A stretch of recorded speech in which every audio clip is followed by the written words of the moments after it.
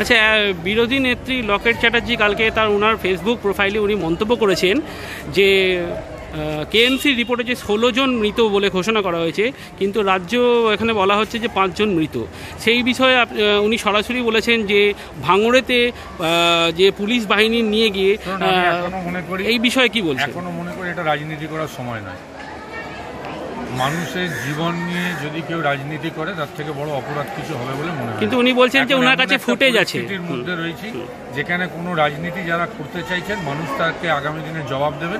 আমি সবাইকে বলব নিশ্চিতভাবে আমাদের রাজ্য সরকার এবং মাননীয় মুখ্যমন্ত্রী তিনি নিজে যেভাবে প্রত্যেক দিন মনিটরিং করছেন তিনি প্রত্যেক দিন প্রত্যেক কটা ব্যাপার যেভাবে দেখছেন সুতরাং দেখুন মৃতদেহ এইভাবে লুকানো যায় না। সুতরাং এই কথাটা যারা বলছেন তারা রাজনীতি করছেন নোংরা রাজনীতি করছে।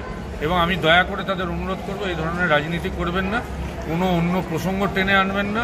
আসুন সবাই মিলে এই সময় মানুষের পাশে গিয়ে দাঁড়াই।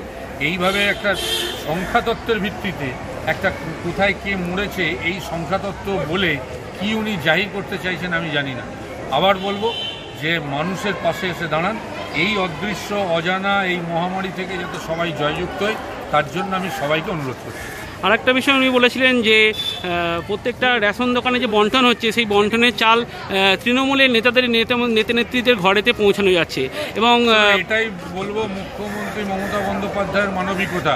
সারা ভারতবর্ষে কেউ দেখাতে পারবে না যে এখানে বিনা পয়সায় এবং বলা হচ্ছে যে মোদি মোদি নাকি চাল দেওয়া হচ্ছে। চাল ডাল এবং তারা গম ইত্যাদি পাচ্ছে সুতরাং এটা কোনো রাজ্যে কেউ দেখাতে পারেনি এটা মমতা বন্দ্যোপাধ্যায় দেখিয়েছে।